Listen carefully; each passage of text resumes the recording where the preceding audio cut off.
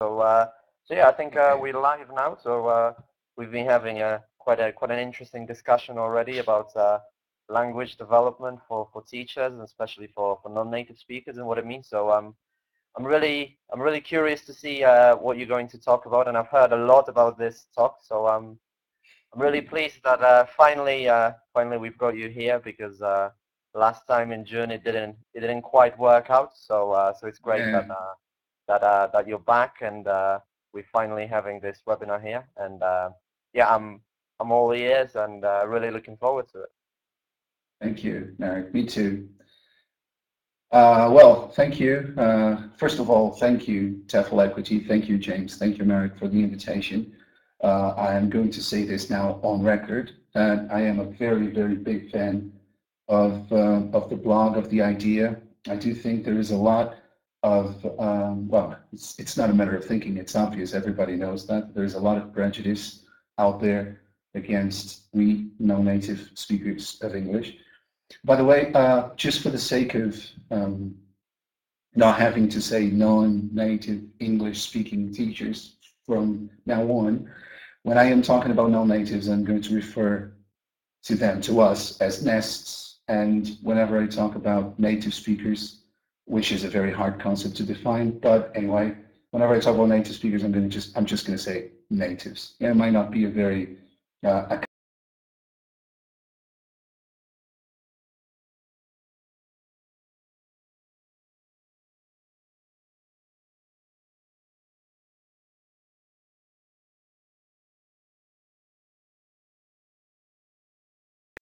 or very correct or very precise um, jargon, but that's what I'm going to go with. So nests, uh, people like me, Brazilians, and uh, natives, people who were born uh, in the inner circle, people who speak English as a first language. All right.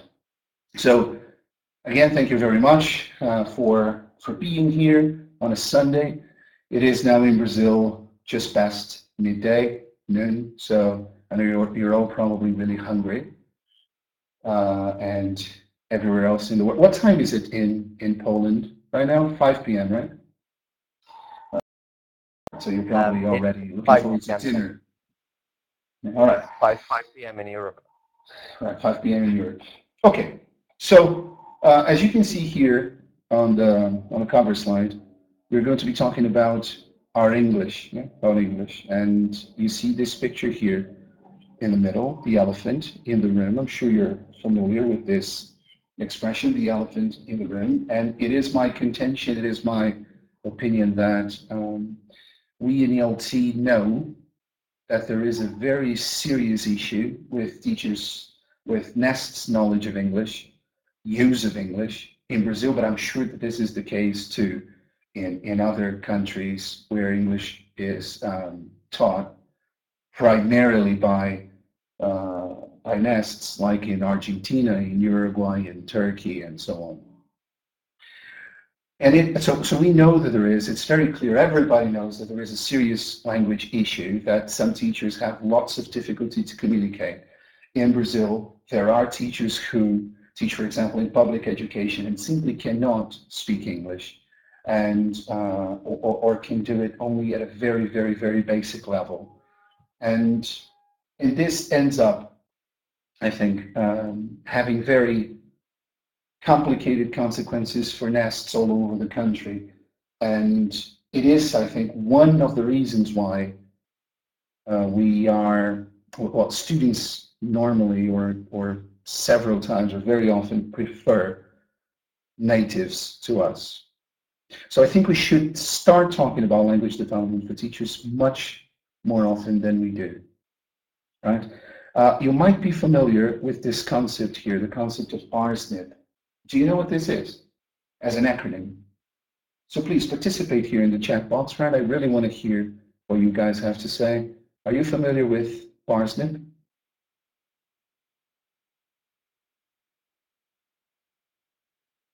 So I see Daniele and Karina are typing here. Hello. Good afternoon, Karina. How are you? All right. So um, this is a, uh, an acronym that is quite famous in the in, in the business, especially if you write if you write course books or if you write materials for students that are going to be used internationally, uh, these are the topics that you should or you must avoid when you are writing materials for students. So you shouldn't talk about politics, religion, alcohol, sex, narcotics, isms. And the reason for that is that, of course, when you write a course book or when you write materials for students, you will want the, these materials to be used all over the world. You want them to be sellable know, all over the, the, the, the, world, and then you cannot have topics that are going to perhaps offend um, specific markets um, all over the world. And it seems to me that in the area of teacher development, uh, in the area of helping teachers improve professional development, we should add LDT to this parsnip because apparently there was a memo, which I missed at some point, that said that we were forbidden to talk about language development for teachers and the fact that some teachers in countries like Brazil, which is where I work, um, as I said before, cannot speak English or, or speak English with a lot of difficulty and therefore there are several students who, who tend to prefer uh, natives to us. I think, obviously, it is high time we stopped uh, not talking about this. We need to, to, to, to, to put this issue on the table and perhaps come up with ways in which teachers can improve their knowledge of English, their use of English, and, uh, and, and as a consequence of that, have a better chance to, to, to, to fight um, um, well, fight natives might be a strong way of putting that, but compete with natives in the in the in the ELT market more successfully. All right, so during this webinar, I'm going to be discussing these things. These are my claims. Teachers of English need to study a lot of English, and of course, not only nests, but also native teachers need to study a lot of English and they don't. Yeah? And here I am talking specifically about uh, nests. When I say they don't, of course, they might be unfair. I'm sure many people do. Many teachers do. I do. And perhaps many people here in this room do too. But you don't have to look very far to find teachers like the ones I referred to in the beginning, teachers who have serious difficulty, lots of difficulty to, to get their messages across in English. And I believe that um, if we, we, we discuss this more openly, perhaps people would study more English and get uh, better at it. So therefore, the overall language level of Brazilian teachers, and I, I, stress the fact that I'm talking about Brazilian teachers specifically here, because this is my reality. I mean, I have never taught English anywhere else in the world. Um, I have been to several other ELT markets, and I've participated in a lot of, of uh, ELT conferences, uh, IATEFL, for example, several times. And I see that this is also the reality for teachers in several other countries, but the ones that I really know and the, and, and the teachers that I work with on a daily basis, they are Brazilians. And I think ELT ignores this to a certain extent. Authors ignore this. Schools ignore this, teachers ignore this, and one of the many consequences of that is that native speakers thrive, yeah? and students tend to prefer them.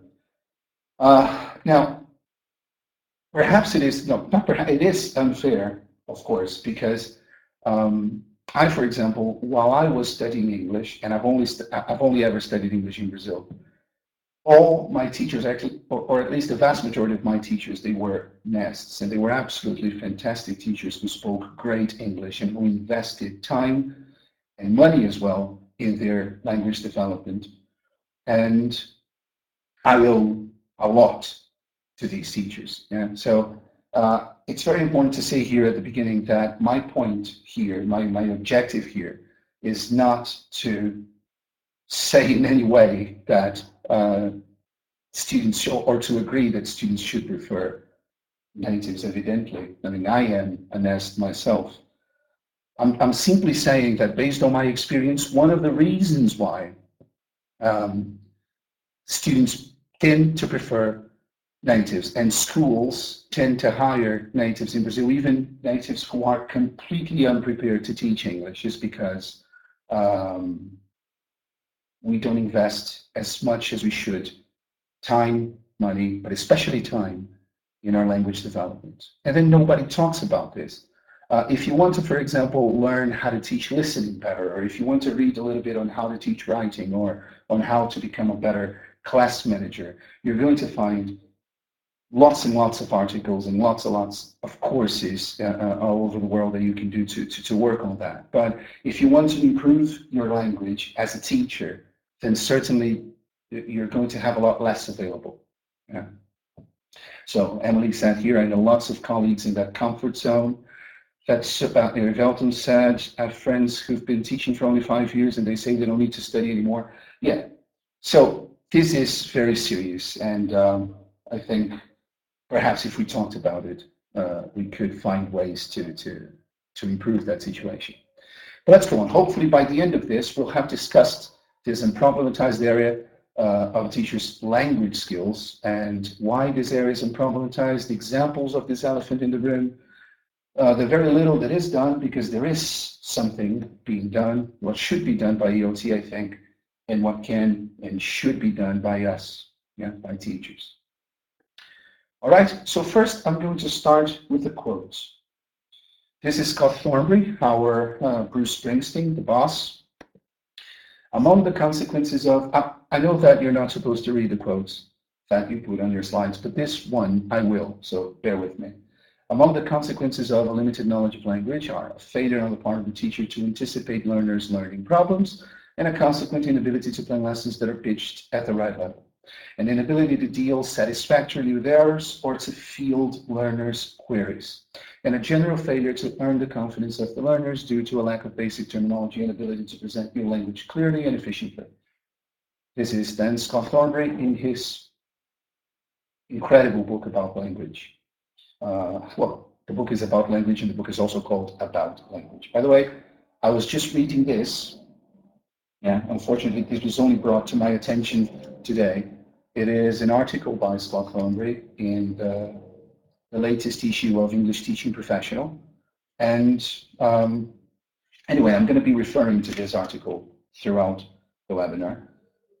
But again, he is, he is addressing the issue of, of um, teacher's language. But the thing is, uh, first of all, I agree 100% with this, obviously. But uh, uh, Thornbury here, he was talking about teachers in general. He was not talking specifically about uh, nests.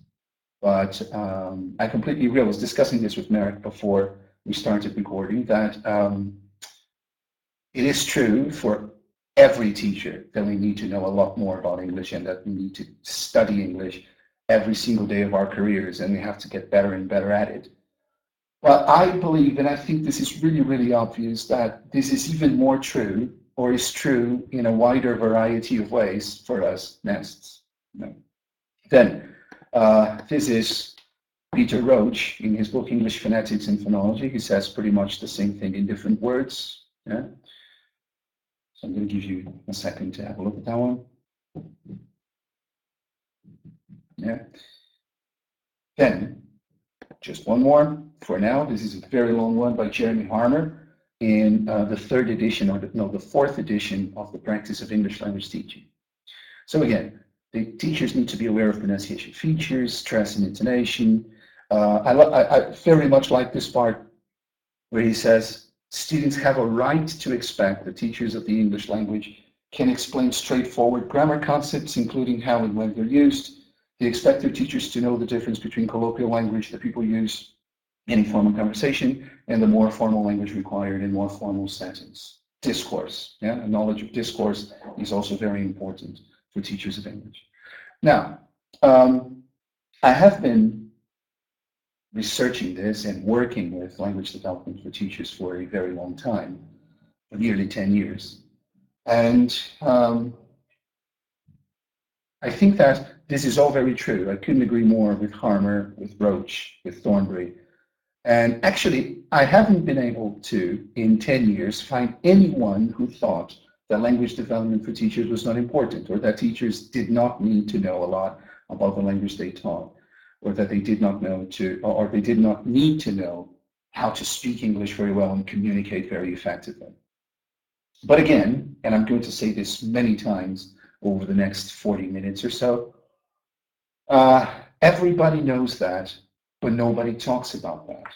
And, and the fact that, for example, in Brazil, and I am sure that this is the case in, in, in other countries as well, in many other countries, we study English in public education, regular education, for eight years at the very least. And still, we live in a country where, according to the, the British Council, only about 5% of the population speak English. And it is not very clearly defined what they consider speaking English to be. I mean, if it is at C1 level or A2 level. So why is it that it happens? I mean, we have this very serious um, problem, and it is very clear to see. How can we study eight years of something in school and not be able to use it? I mean, how is that possible? It is not so hard to, to, to imagine how, how that is possible. The thing is that the, the, the requirements for you to be an English teacher in public education, in regular education, do not include fluency in English. You do not actually have to be able to speak English. And, and as a matter of fact, most teachers in that particular setting don't. Yeah?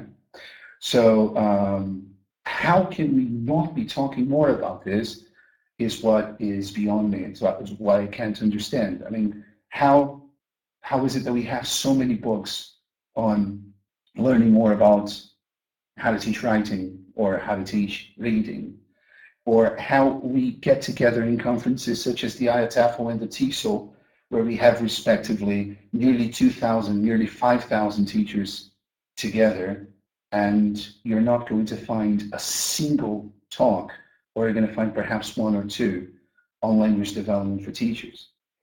Why is it that we look at our specialized literature, we, we look at our periodicals, we look at English Teaching Professional, Modern English Teacher, The Voices magazine, and even the BRAZ-TESOL magazine up to very recently, and you were not going to find a single article that addresses language development for teachers. How is it that Thornbury, Harmer, Roach, and every single other writer in the area think knowledge about English is so important, and yet they travel to Brazil, Argentina, Turkey, Poland, and and uh, and, and and they just don't talk about it. Yeah, so they, they they're there. They have 100, 200, 500, 1,000 Brazilian teachers in the room, and they could perhaps use that opportunity to tell teachers, look, I know this is quite obvious, but what are you doing to improve your knowledge of English? I mean, uh, we're all very angry that students tend to prefer natives over us, that schools tend to pay natives better than they pay us and everything. But um, out of the many, many things that we can do to perhaps curb that or, or, or, or improve that situation is knowing a lot about English, improving your English considerably. And what have you been doing to improve your English lately? So why is it that they're not talking about this? Uh, I, I did this very talk in Rio a couple of months ago, and uh, in the audience, there was, I am not going to say the name of the author here because I didn't ask for permission, so I'm not. But there was a very important writer, a very important speaker, international speaker in the audience. And uh, I am going to refer to this person as a he, but I'm not saying necessarily that he was a man, that he was a he. But what he said to me was, well, it's very easy. The, the answer to your question is actually very easy. We don't talk about this because we have to submit our talks, our slides, to the publishers who are paying for our trip, who are sponsoring our trips, and they would never allow us to visit these countries and talk about that. So it is okay for me to observe your class and to tell you that you have to work on your classroom management. It is fine for me to say that you have to work on your uh, presentation of grammar, on your TTT or whatever, if we're, if we're still talking about that. But why is it that it's not okay for us to talk about language development? I can tell you that you have to improve your classroom management, but I cannot tell you that you have to improve your English, you know? Uh, this is very unfair. If you go back and look at the plenary speakers, for example, in all the big conferences all over the world, even here in Brazil in the BRAZ-TESOL, if you look at the plenary speakers that we have, you know what you're going to find out? You're going to find out that 95 or sometimes 100% of them are natives. They're native speakers of English. Why is that? Is it because they're really so much better than us? Or is it because the sometimes fantastic teachers that we have in Brazil, in Poland, in Turkey, in Japan, in China, they simply don't have the language proficiency to, to present at a place like that. Uh, if you look, for example, at the last IATEFL conference, there was, uh, out of the five plenary speakers, there was one uh, nest, just one. It was Dr. Harry Kuchah, or Kuchah Kuchah. Sorry, don't remember, but uh, Dr. Harry Kuchah. But you know what? He was a he, he was. It's true, wonderful from Cameroon, who does an absolutely fantastic job in his home country. Uh, but you know, I don't know much about Dr. Kuchah to be honest. But you know one thing I know because I saw him. He is an absolutely proficient speaker of English. Yeah. So it is true. There is prejudice. It is true. We are looked down on in ELT, we nests. But if we're going to do something about it, and if we're going to, in time, uh, I don't know, even the play field a little bit, it's going to be among several other things, of course, but it's going to be through language development as well. Yeah, because when you sound like Marek, when you speak English like Marek, then you can fight. Then you then, then you can actually fight um, internationally for our rights. You can represent us. Yeah? And when you don't, when you have difficulty to get the most basic ideas across in the language you teach, then it's going to be very, very, very hard to uh, to actually do something about it, to actually change the situation. Uh, Stephanie mentioned lack of time, and Marek says he doesn't think it's a very good excuse. Yeah, Stephanie, I'm sorry, I don't think it's a very good excuse either. Uh, we do have time for um, for a lot of things. I am not going to to go into that, but uh, for example, reading, I am going to, to talk about that at the end of the, of the webinar, how to actually improve. Uh, I'm going to talk about ideas that have worked for me and that I have seen work for many of my student teachers over the years, but I think reading is the most important of them. And uh, everybody has time to read. I mean, we commute um, 20 minutes before going to bed.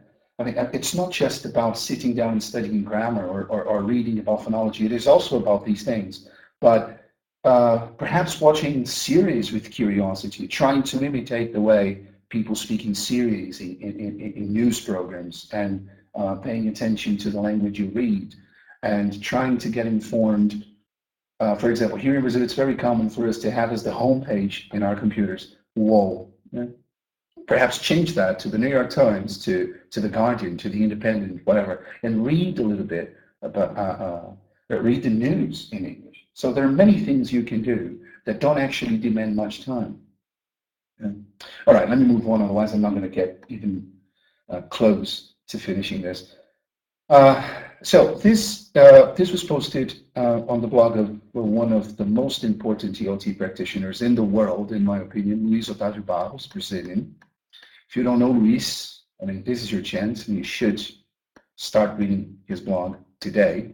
Here's the address and a couple of years ago, I think it was, uh, Luis posted this on his blog, 10 things that you might be saying wrong in the classroom. Like open your books on page, times over. Do you want me to explain you the rule again? Blah, blah, blah.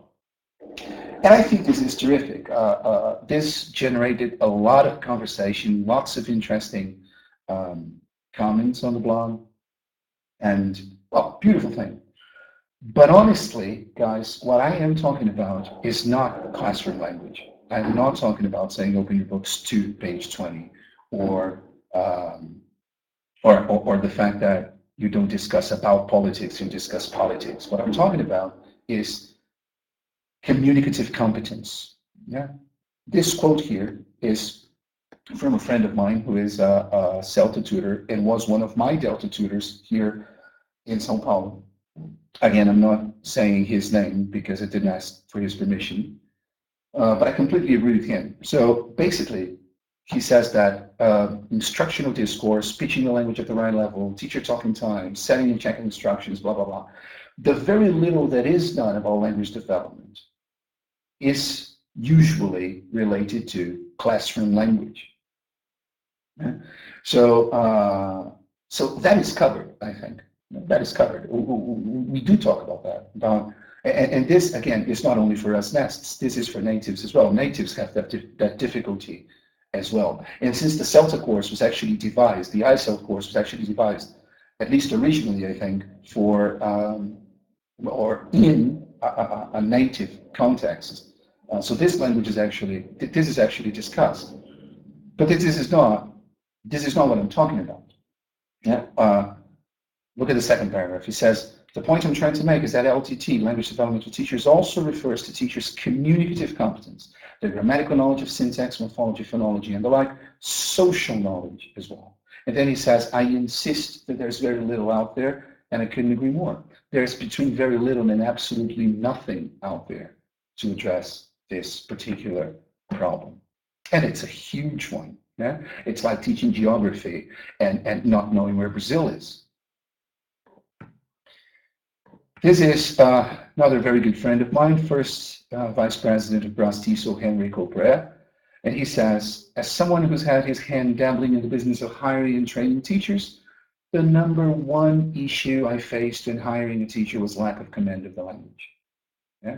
And then he says, he goes on to say, it doesn't matter how knowledgeable you may be in issues such as methodology, techniques, and resources, if you haven't got the content knowledge in your area, you won't be able to teach at a certain level. It's true. It's true. Yeah? So we do talk about this on Facebook. We do talk about, for example, I am president here in Brazil of the TGSIG of the BRAZ-TESOL, of the Brazilian Association of TESOL.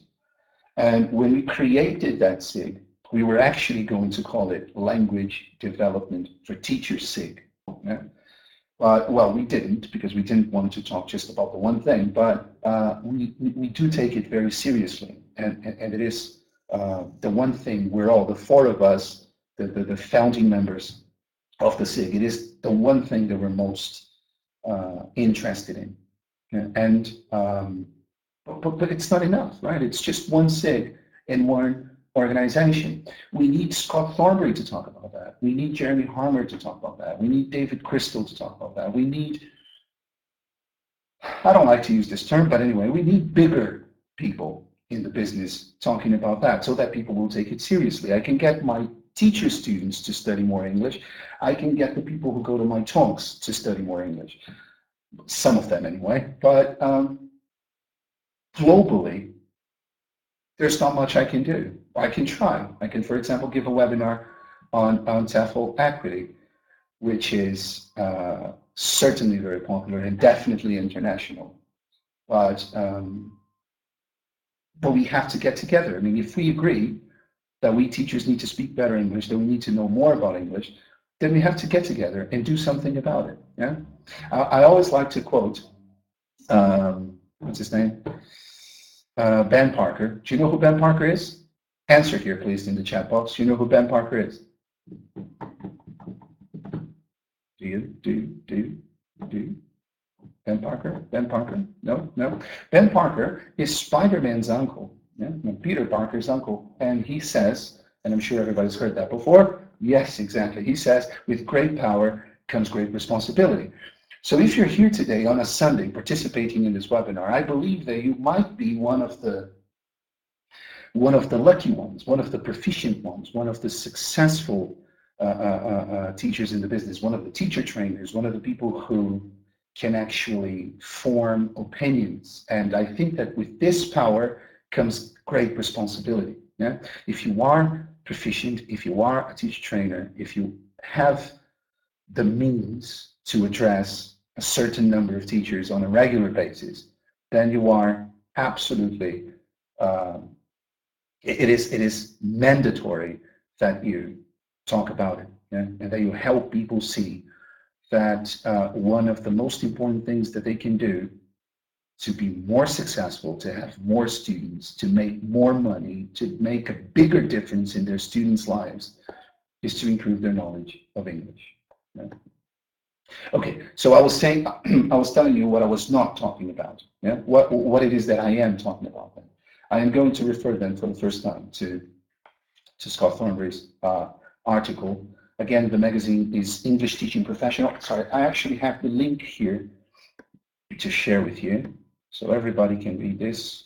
Not now, please. Now you pay attention to me, interact with me. This is uh, Thornbury's article in the latest edition, in the 100th edition of English Teaching Professional. He says, it does seem self-evident, though, that language teachers should know a lot about their subject, language, just as we would expect doctors to know a lot about medicine and rocket scientists to know a lot about rocket science. And uh, there was another part that I wanted to read to you. I highlighted stuff here, but I can't find it. So anyway, uh, what I am talking about then is that teachers need to know a lot and study regularly grammar, vocabulary, phonology, and discourse. You will see in, in, in Thornbury's um, article that he talks a lot about grammar, and he explains why he talks a lot about grammar. But, um, but he mentions here, I'm going to try to show it to you, I don't know if you can see it, but basically he talks about, um, so it's an inverted pyramid. I'm going to read to you what it says, uh, top to bottom. Text, sentence, clause, phrase, word, morpheme, phoneme. And in summary, phonology, morphology, syntax, discourse, grammar, vocabulary, phonology, phonology, discourse. So we have to know more about this. We have to study this, and we have to be able to use the language well. It is true that, um, of course, English is the only language ever to be more spoken as a second language, second, third, fourth, than as a first language. Um, and I am not even saying, and I am really not saying, that natives should be the model. What I am saying is that proficiency should be the goal for for for English teachers. Yeah, I mean, uh, somebody mentioned here. I'm sorry, uh, it's hard to keep up with what's going on in the chat, but somebody mentioned the CPE. I do think everybody, every teacher of English should be should have as, as a goal to have the CPE at some point of their career, not necessarily the certificate, but that level, the, the, the, the C2 level. And I actually think that getting to the CPE, getting to the C2 level is not the end of it. Yeah? Um, I, for example, did do the CPE in 2005. It's been 10 years, and I think I have actually studied and improved a lot since then. And I am still not happy with it. So I still think that there is a lot to do after the CPE, but um, perhaps having the CPE as a goal, if, if you don't have it yet, is, is what I'm talking about. Now, you know what? I could be wrong. I could be wrong. The TKT, for example, demands from, not demands, but they suggest that uh, the people who sit the, the, the TKT modules have a B1 level. Yeah, so it's a B1 level. I think we should all be um, working towards a C2 level. Now, again, I could be wrong, but how about we talk about that more then and, and, and decide what it is that, of course, there are different contexts too. It depends on, on, on where you teach and, and uh, your, what, what your stu students' goals are. But perhaps could we come up with a, a, a bare minimum or, or uh, perhaps discuss different uh, possibilities. Yeah, exactly, Marek. So again, I completely agree with you. But have a look at Marek's uh, question. What if we demanded CPE in language awareness from uh, native speakers? If such a text, test existed, I, I, agree with you. Most of them wouldn't pass. You know? So it should be. Uh, I don't know if most of them, right? I mean, that, that just came out. But, uh, many of them, or, or, or some of them, would not pass for sure. Uh, so I agree with you. That should be the goal for, for native speakers as well. But again, as, as we discussed in the beginning before the recording started, I think we're talking about two different things here. Yeah, we are talking about people who already have a command over the language, native uh, speakers, educated native speakers, that is, and also, um, and, and then on what I am talking about is teachers who cannot communicate or who have a lot of difficulty to communicate, and students notice that. Of course they do, Uh, and um, this hurts us all. So, so, so it is high time we talked more openly about this but without mincing words so much, yeah? without sugarcoating the thing so much. Yeah?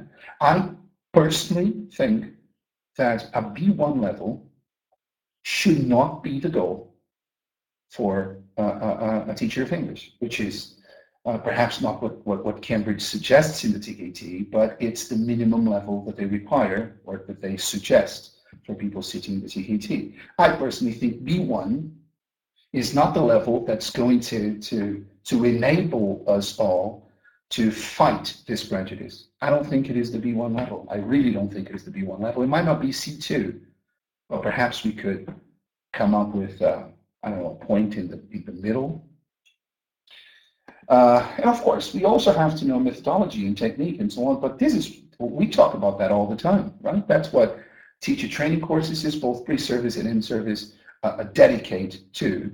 This is what, as I mentioned before, all the periodicals talk about and all the conferences talk about. This is covered. This is absolutely covered. I mean, we don't need to get people to talk more about this because they all they can do is talk about this.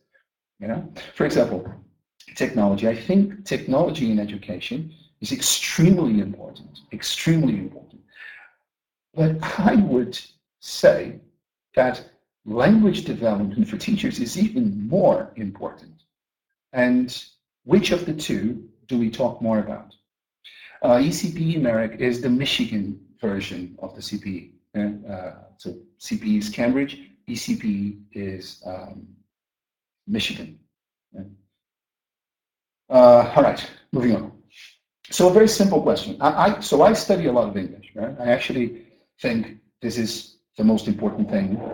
That's what I'm here talking about. So I study a lot of English and I listen to a lot of podcasts. So for example, I listen to the BBC World News every day or almost every day. And last year I came across this uh, on BBC World News or Global News. I don't know. Police stations have been being seized. And then I posted on Facebook to my friends. Most of my friends on Facebook are teachers, of course. And I asked them, how does that sound to you? There's actually a link here. Yeah, I can send you at the end of the of the webinar. I'm going to give you my email address, and uh, if you want, I can actually send you this link to you so that you can listen to it. Yeah, I'm not making it, making an example up just to prove my point. The guy actually said this, and I don't know uh, what you think about this, but I would, I, if a student of mine had written this in, in, in a in a in a composition, in, in a piece of writing, I would have corrected it. I would have said, no, police stations have been seized, not have been being seized. Um, so I was shocked because this is not live. I mean, this was edited. It's a podcast, and yet it was accepted and, and, and it was there in the podcast. So I asked my friends, and, and I'm going to show you the highlights uh, uh, of the answers I got. Awful. Wasn't he stuttering? Native speakers don't speak. It is so embarrassing when supposedly educated people, blah, blah, blah. Then look at this one. This is really, really good. Uh, if we can say stations are being seized, why not stations have been being seized? How else would you say exactly the same thing if it started in the past and it's still going on as we speak, blah, blah, blah. And then, ah, there's more, sorry. this is a funny one. Why do people suppose that us native speakers get it right all the time? He made a mistake. His focus was probably on describing what was happening. It was a news item, not an English lesson. Then, hi Sue, thank you. So you think it's okay? All right.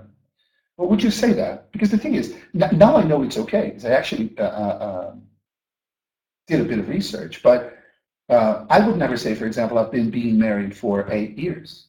Yeah? And um, so, so, so we don't normally use been being, It is certainly not the most common way of, of, of, getting that point across. And you see, we have here in this line, the vast majority of the, the, the, the, the comments that I chose to share here, they were made by native speakers. So most native speakers thought this was um, weird, yeah, weird to say the least. And then Natalia Guerrero, by the way, this is the second link that I'm going to share with you. This is a post on Richmond Share by my friend Natalia Guerrero, uh, Brazilian teacher, uh, talking about um, language development for teachers. So she suggested this link here. You're also going to have access to, to this link. And uh, it was basically a text explaining how that is possible, but it's rare and it's not so commonly used anymore. And then I was also, I also found this one in the Cambridge Grammar of English. You can read here at the bottom that repeated or extended events which are felt to be developing, ongoing, or perhaps temporary may occasionally lead to the use of progressive for such verbs, uh, mental processing sense verbs. The water water's definitely been tasting better since we bought the and so. I don't know if it's exactly the same case, but okay, granted, it's a possibility. But you see, lots of teachers disagreed. Most of the teachers who commented on my original post thought it was bad English. Yeah? And I think that that illustrates the point, the point even that Marek was making, that we all need to study more English than we do. All of us, regardless of where we're from, regardless of what our first language is. But I think it is high time, again, we talked about the fact that we nests need to study it even more because we are, much as people never talk about that, we are at a linguistic disadvantage. Of course we are. I mean, it is not our first language. Sometimes, uh, uh, well, we have, I have lots of problems with prepositions.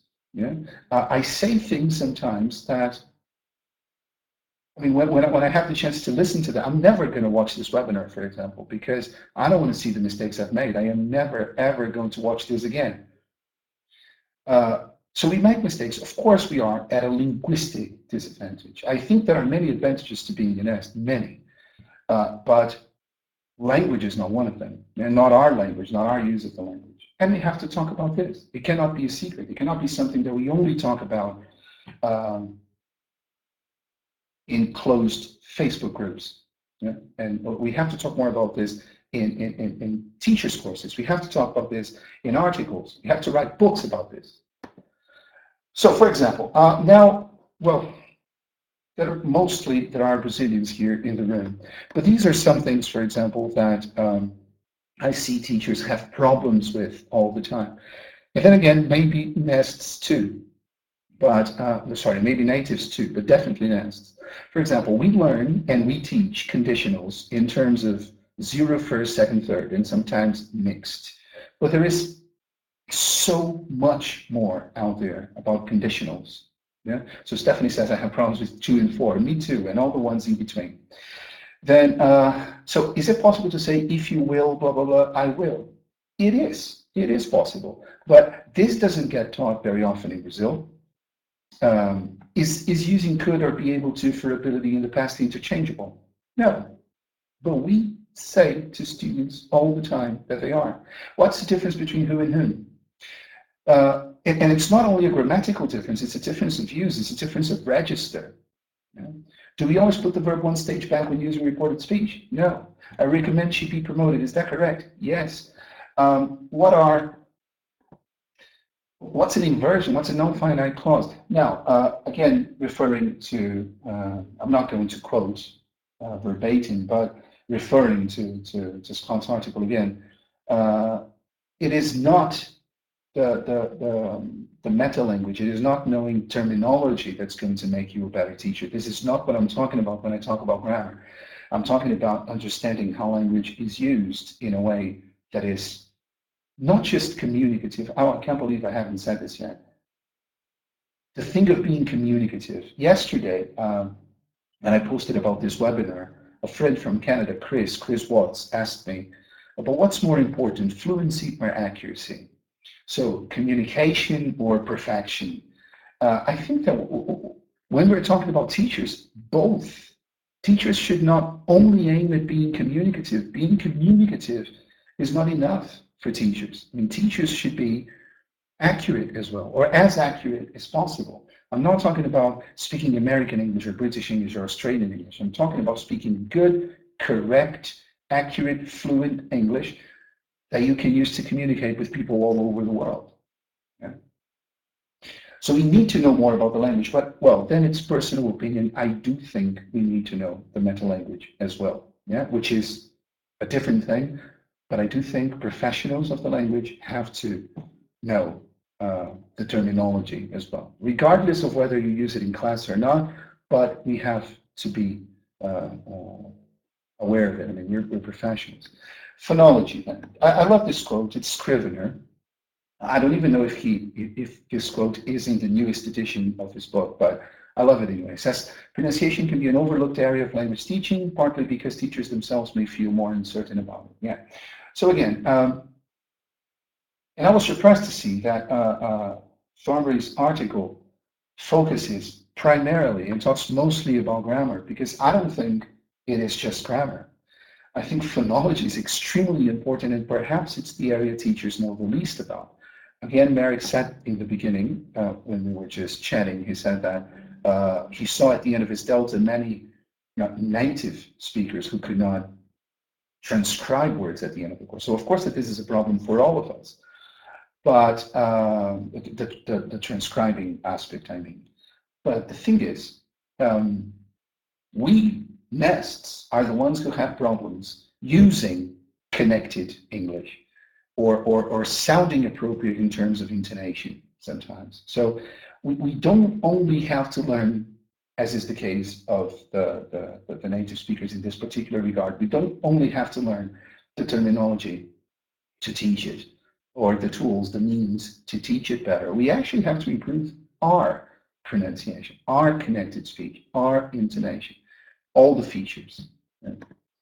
Uh, I, I, like to use this song. I'm not going to go into uh, that now because I only have 10 minutes left. But I very much like to use this song uh, in teachers' courses. It could be any song, obviously, but to draw teachers' attention to, to, to elements of connected speech that are very, very, very, very rarely taught because teachers either don't really have them in their own speech uh, uh, or because they notice it, but for some reason they don't think it's important to teach it as well. For example, the fact that get can be pronounced get with the elision of the sound t. Or uh, again, in Jason Mraz's uh, uh, pronunciation, he's American, who says, here it comes, here it comes, not here. And this is very common, for example, when you say teller, telling, giver, and so on. Beautiful light, she told me, do it, with the uh, intrusive wa and everything. And I think that even if teachers do not pronounce words like that, because it, there's nothing wrong, of course, with saying people get ready, get ready, um, teaching phonology and drawing students' attention to these aspects of phonology actually improve their listening. So uh, it doesn't, it, it, it's not only so that you can talk like that. Nobody has to talk like Jason Mraz, but you have to be able to understand Jason Mraz and, and, and, and, and other American speakers of English and British speakers of English. And understanding these features of phonology is key, is really very important, and most teachers don't. Right? The vast majority of teachers don't. And then I agree with Marek that native speakers included. They, they, they know this, they might use this, but they rarely, if ever, teach this. So uh, perhaps this is an element of, of language development that is common for both nests and natives. There are many more. Not going to go into them, sorry, sake of time. Uh, so what are, what, what are these sounds? I mean, do teachers use phonemic symbols in class? It's okay not to use phonemic symbols in class if you don't, because you don't see the point. But you could if you wanted to, because you know how. Yeah. Uh, so how do you pronounce the regular verbs in the past? And, and it's a curious thing. This is a very common problem in Brazil. I'm sure everybody is going to, to, to recognize this, saying things like work it and uh, uh, wash it, and so on. Yeah? And we teach simple past absolutely every day of our lives, every day of our careers. And I think getting the regular verbs wrong for a teacher is pretty serious. It's something that we should be addressing and we should be working on, on, on, on not getting them wrong anymore. How do you pronounce the final S in plural words?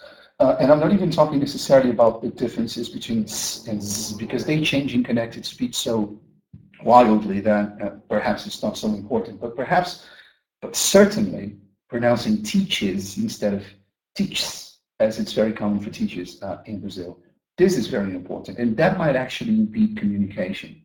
So these are serious language issues that need to be addressed, that need to be understood. How do you count syllables in English? Are there rules for word stress? I mean, curiously, there are actually.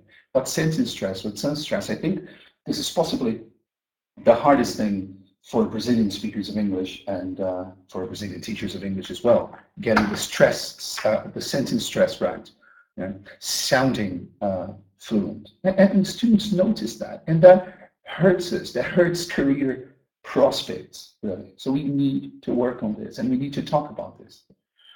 Um, and then moving on, um, vocabulary.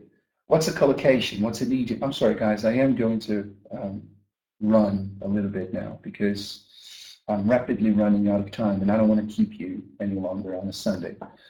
So rise or raise your hand. Can you imagine a hand rising and how weird that would be? But this is commonly used, actually, in Brazil. It's commonly, it's a mistake that's commonly made. Uh, and, and also uh, semantic precision and lexical variation and stuff like that. Also things that are very important and we work very little on them, you know, on improving our, our use of vocabulary. Well, how to go about studying language then? Again, these are things that have worked for me and that I suggest for my teacher students, for teachers preparing for the CAE, for the CPE, and, and so on. Be curious about the language. I mean, for example, when you come across something like uh, police stations have been being seized, and you think that sounds odd, or you don't know what, what, what that means. I was just reading, I'm reading a very nice book at the moment, The Girl on the Train, highly recommend it. And uh, I found it here. I feel them at one remove, at one remove. That's an expression I had never seen before. So if you've never seen it before, if you're not sure of what it means, look it up, learn to use it. Yeah? Learn what it means, learn to use it. Uh, vast and varied reading. You'll see I repeated reading several times here. You can see it again. And I didn't repeat it because I ran out of ideas because I actually think teachers should read and that the best language exercise there is is reading vastly, variedly. You, know, you have to read a lot. I, I think it's part of being a teacher and it helps you tremendously improve your English. Exposure to native language, to proficient English, watching videos on TED, for example, which I actually suggest in the next slide. Organization and focus, it's not just when you have time. And I'm not talking about reading, for example, grammatical explanations at the back of the course books you use, because that is full of half-truths and outright lies and simplifications that should not be enough for teachers. Then moving on, have a vocabulary notebook for every time you come across interesting vocabulary, write it down, write it down with an example sentence so that you can actually uh, remember uh, and revisit as well, right? Because you have to encounter this vocabulary several times to actually turn passive vocabulary into active vocabulary, but also just improving your passive vocabulary is very important. And again, read books, articles, news, blogs, recipes, graffiti, everything. Watch series, movies, TV programs, get hooked on TED. TED is, I will never, ever accept that TED was not made by teachers for teachers of English because it is just so perfect for teachers, not, not only for teachers to use in class, but also to use to improve their English, yeah, uh, very importantly. You have talks about absolutely every uh, uh, area of, of human interest and, and human knowledge. So you, you, you learn a lot of specific, interesting vocabulary in, in, in, and you're exposed to, to authentic use of English, to, to connected speech and so on. Set a time to study. I mean, don't just study when you have time because you're never going to have time and you're never going to have more time. You're not going to be less busy next year. You're not going to be less busy the year before. Yeah. If anything, you're going to get more and more busy. So you have to incorporate this into your schedules, really, because you're not magically going to have more time next year. It's not going to happen. I mean, how long have you been trying to have more time.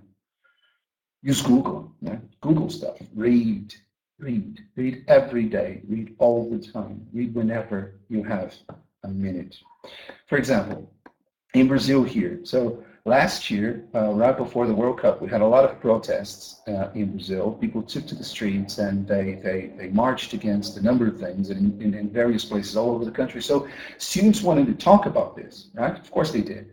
And, uh, and then they would ask uh, uh, uh, teachers how to say riot police, how do you say tear gas, how do you say, which in Portuguese is gas lacrimogêneo, and, and, and and we don't know, but if instead of reading about it in the Brazilian media, you read about it in the international media, you would know at least a little bit. Read about the World Cup, read about the elections, read about uh, the, the corruption scandals that are going on, that are happening in Brazil at the moment. Read about them, about these, also in the international press. Yeah? Learn how they refer to, to, to the things happening in Brazil in the international press, because then you'll be able to help your students better with that. Of course, foster autonomy, uh, uh, uh, um, suggest this to students as well, that they go and read about international news in international uh, newspapers, but do that yourself. I mean, uh, it's funny how, uh, Marek, is it absolutely horrific if I am five minutes late? Or is it okay if I finish at 12.05? I, I don't think so uh, it's Okay, very all right. interesting. So uh, yeah, please, please do do go on. Um, I Thank hope you. James right. doesn't mind either. James, just five more minutes, I promise. Uh, what was I saying? Mm, right. It, it is it is very common in teacher training. It's very common. We do this all the time to tell teachers, look, it's impossible to know everything. You're never going to know everything. Uh, it- and all right, I mean that's obvious. Of course, we're never going to know everything. Of course, we're never going to know everything. Of course, uh, uh, students are sometimes going to ask us things that we don't know how to answer and that we're going to have to to we're going to have to promise to answer the next class we're going to have to go now get your phone go to google and find out on the spot of course everybody knows that perhaps it's time we started talking about or, or, or we changed our, our, our speech a little bit and said look while it's true that you don't have to know everything you do have to know a lot more It's not everything. Of course, granted, nobody is ever going to know everything about anything. But you do have to know more. You need to be better informed. You need to learn more. You need to study more and read more. So I think perhaps we could do that. And again, in, in, in the article I've referred to several times, uh, Scott Thornbury's article, he also says that developing hedging techniques. And of course, he is talking about native speakers most of the time, but he says, um, but you'll never be able to answer all of the questions that get thrown at you. So it's worth developing some hedging strategies, such as throwing the question back on the learners, promising an answer in the next lesson. I absolutely agree with that, of course. But isn't it also good for your morale, if nothing else, to be able to answer most of students' questions, to actually have more answers at the tip of your tongue than we do at the moment? Yeah? So I think we should start thinking a little bit about that too. Now, to finish, I have asked many of the famous ELT writers by email, Facebook. I mean, I've pestered them in many different ways. And these are some of the answers that I got. Obviously, I'm not going to say who said what, but just for you to have an idea how it seems to me everybody agrees, and yet no one will talk about it. The feeling is perhaps that no native speaker teachers should need no special treatment and to offer it might be seen as insulting. I hope it doesn't sound insulting. I do think we need special treatment. I don't think a teacher's linguistic needs are the same needs uh, as a student's needs. I don't think we need the same things. I don't think we have the same goals students do. So I disagree with this uh, vehemently, if that's how you pronounce this word. Uh, we do need special treatment. We are a special group of people. We are not just regular students, regular advanced students. We're teachers. And what's demanded or what should be demanded from us is definitely different from what should be demanded and, and what is demanded usually from students. I think the sad reality is, though, that for a very large number of the world's teachers, their English is barely above A2, B1 to be generous and be extremely helpful if this course book writer, next time he or she is in Turkey or Brazil or, or Argentina or, or uh, wherever, that he or she said that to the audience. Yeah. It's an important topic, but a very sensitive one. Affect teachers' self-esteem badly. I agree, but unfortunately, if we're going to use this as an, as an excuse to never talk about it, we're never going to improve. I think no native speaker language teachers ideally should have a certain, I, I love this, a certain level on IELTS or TOEFL or Cambridge exams. What is a certain level on IELTS? Three? Or on TOEFL, 50? Cambridge exams, which one? PET? Yeah, so perhaps, again, as I've said a million times, and now I'm going to say for the last time, perhaps it's time uh, uh, we were a little bit more specific about this, isn't it? Uh, because a certain level uh, is very, very hard to, to, to understand. Yeah. All right, so my opinion then, to wrap up, this is, by the way, the cover of the magazine that I edit. I'm the editor of the BRAZ-TESOL newsletter. And this was my very first issue as editor. Look what it, what it says on the cover, obviously. We need to talk about our English. Uh, so my opinion is that this is too important an issue to overlook. We owe it to ourselves. We owe it to ourselves, really. We owe it to our students. Okay? Let's see, as uh, James said, I feel very uncomfortable saying that. It could easily come across as very, you know what, James, I don't know, it, it could sound and look, believe me, I have gotten, after these talks, I've gotten some very angry emails. And I have been called a number of things because of this. But unfortunately, um, I think that it's a risk we have to take, you know, because no one's talking about this. And I actually think, uh, uh disagreeing with you a little bit, that it would be fantastic if it also came from you and from uh, native speakers of English all over the world. Yeah. It's at the very least as important as everything else, as knowing how to use technology, as knowing how to teach writing, as knowing how, how to teach listening. It is at the very least as important as everything else. So this, guys, to finish, is a book that I have written. I'm very proud of it. It's coming out now in October. And uh, for those of you who are not Brazilian, I'm sure you can see the titles in Portuguese. English professor, which means, I mean, roughly uh, translating a teacher's English.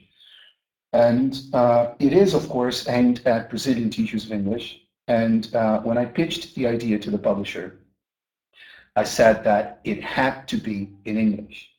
And the publisher really liked the idea, agreed to publish and everything. But then the only thing, out of everything that I had suggested, the only thing that was uh, dismissed out of hand was it being written in English. He said to me, do you want to sell this book? I mean, do you actually want people to buy it? Because if you actually want people to buy it, it has to be in Portuguese because there is a great number of teachers of English in Brazil who will never buy a book in English simply because they can't understand it or because they think they wouldn't be able to understand it. Yeah, maybe they would, but they're not even going to try. They're not even willing to try. The reason this book was written in Portuguese is one of the reasons why we need to talk more or at all about this. Yeah? We need help. We nests need to study more English. We need to discuss this more, and we need perhaps more people to tell us that so help me, please. Ask this as a nest, ask this as a teacher, ask this as someone who uh, really wants to see their, uh, his fellow Brazilian teachers succeed. I want to see Brazilians give plenaries at IATEFL. I want to see Brazilians give plenaries at uh, TESOL and everywhere else. And Argentinians and Uruguayans and Turkish people. And in order for us to do that, we need help.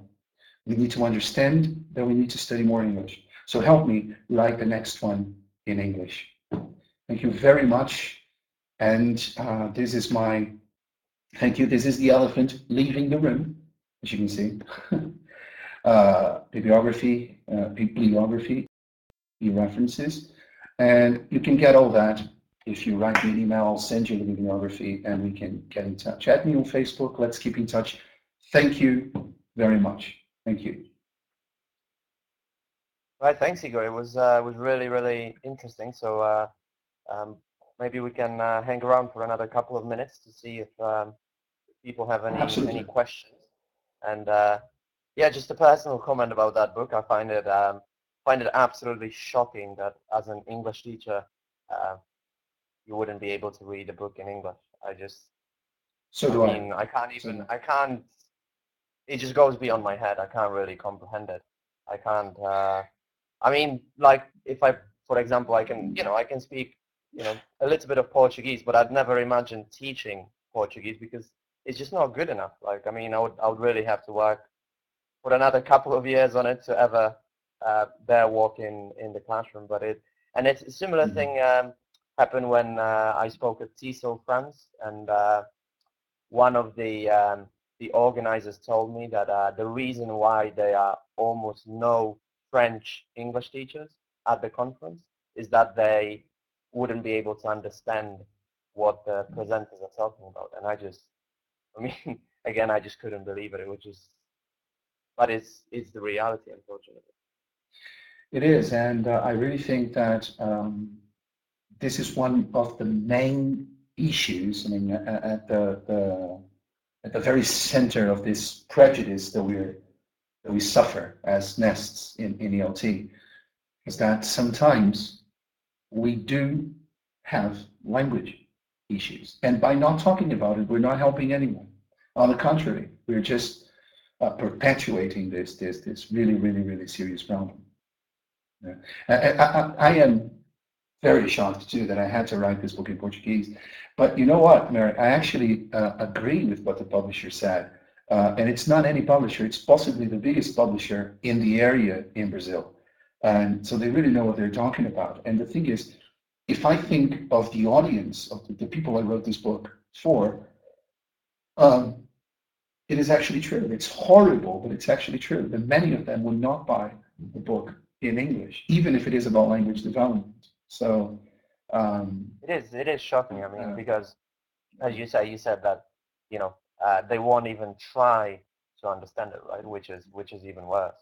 Um, I yes, um, because I mean when you're when you I'm I'm big into learning languages in general. I you know I really like learning different languages. And the first thing that you do is what what you were saying here. Like I mean, if you want to learn, let's say, Portuguese, um, well then start reading things in Portuguese um, that you enjoy. For example, I really like football. So I, you know, I would read about the World Cup in, you know, on I don't know, O Globo or something like this. Um, you know, a Portuguese Absolutely. newspaper, just to get the the input. Even if you're not getting everything, you you know, uh, you're getting into the language, the, the the culture, and you know, and that's you know that's the basics, isn't it? it's not something we change overnight, but we, but we have to, to, to, to start. And I, I actually think reading is the best way, the best way to go about it. Uh, I owe 90% of my English, my vocabulary, everything really, except for perhaps pronunciation, to reading. And, and that's what I try to, to, to impart to, to teachers, to student teachers, because, or teacher students, because uh, I actually think this makes an enormous difference. I think there's So a Emma, um, question there from Hamil. Um, Emily, Higor. Um, how did you start it? I presume it's. Um, Uh, well, actually, uh, Marek could answer that too as a, as a nest himself. But uh, well, I've been studying English since I was nine, and I'm now 35. So, but I've never studied it abroad. Uh, I studied in a local school from their basic level until their advanced level. I finished when I was 18, and um, and I think then then I actually started studying, started reading a lot, and I love movies, I love music, although I can't play anything, and that's really frustrating. But um, I listen to a lot of music, I watch a lot of shows, and uh, I read a lot. I think uh, uh, this is basically what I owe, whatever English I know, to. How about you, Marek? Well, I, I started, I think, when I was when I was seven in in, in school in in a public school in Poland, and then I also had um, private classes, and I went to a language school. Um, but I think I was, if I look back at it, and if I if I were to do it again, I would have done it very differently. Um, I think I was very ineffective because it, you know, it took me, I don't know, something something strange like 10 years to get to proficiency or, or something like that. Um, so I think you can do it in, in a much more effective way. Like for example, when I was more recently when I was learning French or, or Portuguese, I did it more through you know reading things or listening to things that interest me. Learning a lot of chunks um, on Memrise. I really like um, Memrise. So I'd, I'd learn you know a lot of chunks um, there and then try to use it as as whenever you get a chance to to use the language that you want to learn. Just just go for it and uh, it can be very embarrassing. Now I'm I'm in Switzerland and uh, um, I don't understand people in shops sometimes when they speak French, but you know you have to persist and uh, you know when they speak to you in English, you have to try and uh, um, you know talk to them in French and try and you know improve it that way. I think. Absolutely, that's it. I couldn't agree more. Reading, reading, and listening to a lot of authentic language. I think I think for me um, it would be I think it, reading is very important, but um, like I, I think I would emphasize um, listening personally because I think it's there's there's a, um, a closer connection with uh, speaking. Um, I personally think because, for example, if you if you read if I read something in French, I can probably understand you know sort of 99% of what I'm reading, but when I listen and when I want to say things, it's much more difficult, I think, because it's it's faster, the connected speech and, Mhm, course. everything. You, you don't have time to process it, but but I do agree with you that you know reading is a fantastic way um, to to improve your vocabulary and the language in general. Uh, what Stephanie says here is really interesting. I agree with you, Stephanie. You know what? Sometimes you are actually going to be judged. Really, it's true. But that can stop you because if it if it stops you, then you're never going to to, to put yourself out there and and and improve. And, and I think the more successful communication opportunities you have, the more confident you're going to feel to have more.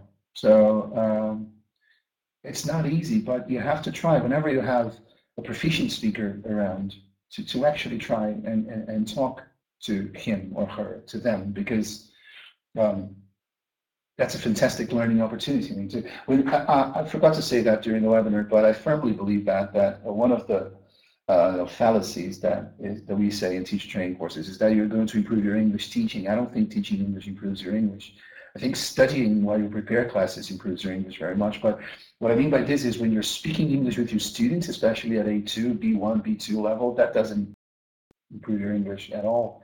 You have to, no, it to actually, I'd, I'd say it uh, it weakens English. Like I mean, possibly. you have you have to dumb it down so much that. Um, but uh, coming back to Stephanie's and, and judgment, I mean,